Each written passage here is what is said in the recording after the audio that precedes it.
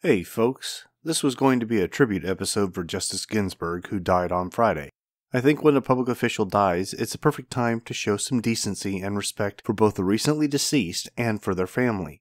You don't have to agree with the policies of someone to show some decorum when they pass away, and no matter how you feel about Justice Ginsburg's rulings, you have to respect the fact that she died serving America as a Justice of the Supreme Court.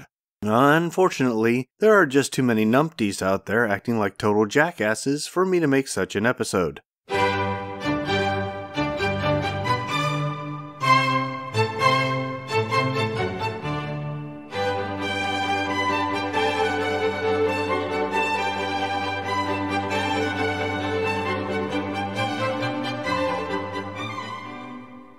This country has become more polarized than it was when I was a kid. I'm not saying that it wasn't polarized in the 80s, but compared to today, there was nothing like what we see in 2020. Some people are firmly convinced that burning down everything is the solution to their problems, and I'm tired of it. Tired, by God! First of all, dozens of people are dead now from rioting. Hundreds are injured, thousands have lost their jobs, tens of thousands are moving out of the cities, etc., etc., ad nauseum. We already face death, disability, unemployment, and potential homelessness thanks to COVID 19, and I wish that the idiots running around bashing, smashing, shooting, looting, burning, and defacing would just stop already. These idiots may think that they are making people pay attention to them, and they're right about that. It's just that the rest of us don't really care to listen to what rioters have to say. Quick hint, rioters. Once the riots started, your arguments became invalid. You're not attacking the perpetrators and you're not tearing down any system. You're attacking your neighbors and tearing down your city. Second, Justice Ginsburg died on Friday. I saw the first reports in the evening. It didn't take long before Mitch McConnell stuck his foot in it. I personally think that Mitch should have stated that the confirmation would be discussed this weekend and a statement made on Monday, and stuck to honoring Justice Ginsburg at least for the weekend.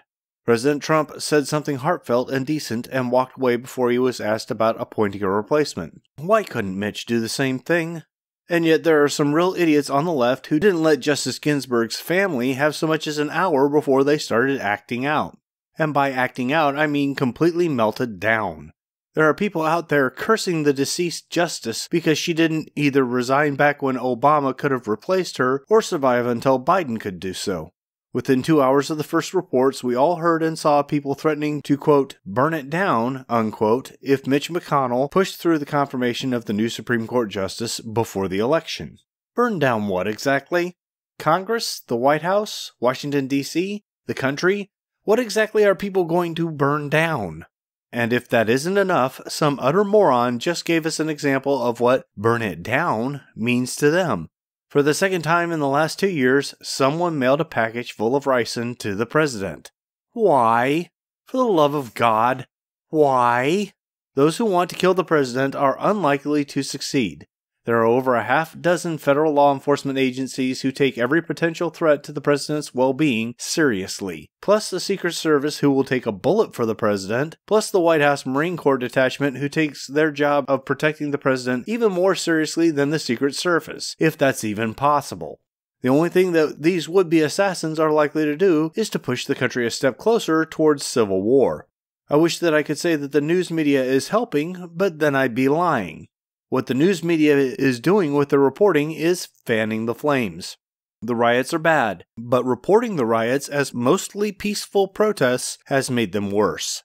Reporting statements from our elected officials who don't seem to have a press secretary is bad enough. But reporting that anonymous sources confirm that Trump said that he would exercise dictatorial powers is ratcheting up the tensions.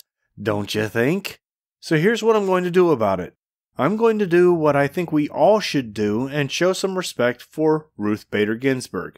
She spent the last 27 years on the Supreme Court and the last 40 as a federal judge, and that level of service deserves respect. Her family is grieving their loss, and they deserve some decency out of us because if it were our loved ones who passed, we would have the right to expect the same courtesy. I'm going to tell the news media once again that they need to actually edit their copy before it goes out, and they need to have some journalistic standards and follow their own code of ethics. And I'm going to remind everyone who is running around literally raising hell in the country, ready to burn it all down, that the only things that they are making more likely is a Trump victory in November and their eventual convictions. Yes, I know that some prosecutors are refusing to charge people out west, but you remember those lawyers who threw a Molotov cocktail at an NYPD SUV a while back? Well, they were both just sentenced to life in prison. What I'm not going to do is act like I've never learned any common sense or common decency. The election is coming too, and I'm going to vote my conscience.